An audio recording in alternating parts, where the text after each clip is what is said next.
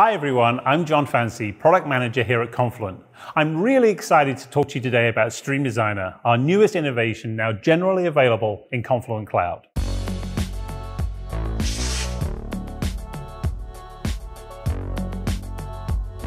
In today's digital first world, companies have turned to Apache Kafka to harness the power of data in motion with ubiquitous access to high quality, real-time data streams.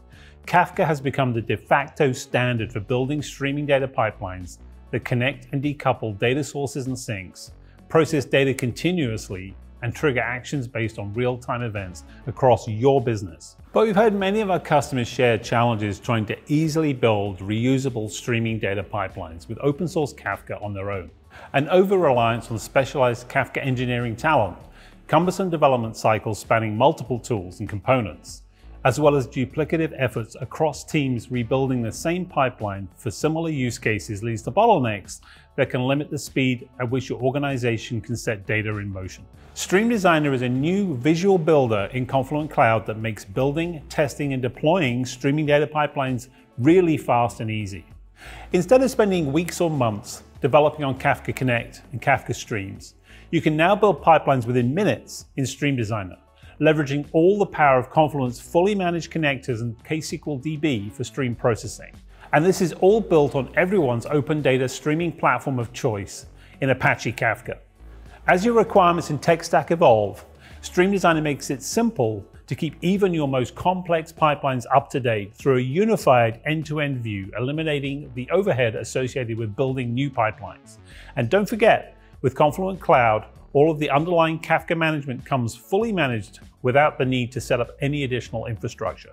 Unlike other GUI-based editors that have common drawbacks like reduced flexibility and higher latency, we built Stream Designer leveraging Kafka's open platform to offer speed and simplicity without those trade-offs. For example, Stream Designer doesn't have a separate runtime engine, so you will experience the same high performance of Confluent Cloud. You can even seamlessly switch between writing SQL or using the graphical canvas, whichever method you think works best for you. Pipelines built on Stream Designer are exportable as SQL code for CI/CD or to share across teams as production-ready pipeline templates. Let's take a closer look inside the product. You can launch Stream Designer in the Confluent Cloud UI and start building pipelines from a few options.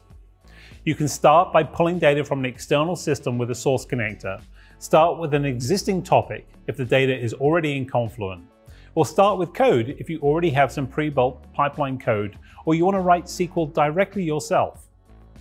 You can even leverage one of our stream processing use case recipes to get up and running quickly. Let's start from scratch with a connector.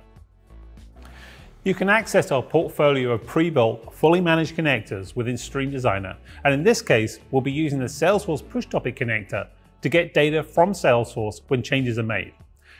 We'll configure it by providing the necessary authentication details in this side panel. As we save our connector configuration, you'll see the connector tile change color to conveniently prompt us with an error notification. Clicking into the connector, we can see that the error message tells us that we need to write it to a Kafka topic. So let's hover over the connector node and click to add a Kafka topic. We'll give the topic and stream names, then activate the pipeline to get the Salesforce data flowing into Kafka. And voila, we now have an active functioning pipeline.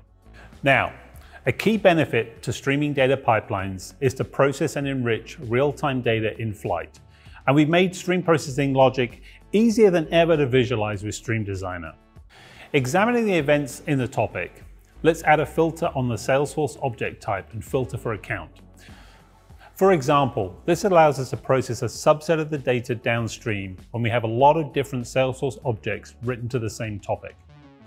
We can point and click to add the filter tile, but you can also see all the other stream processing operations we could do, like specifying an aggregation such as a group by or using join to combine multiple streams of data. Instead of writing all of the logic in SQL, we can just specify the filter expression.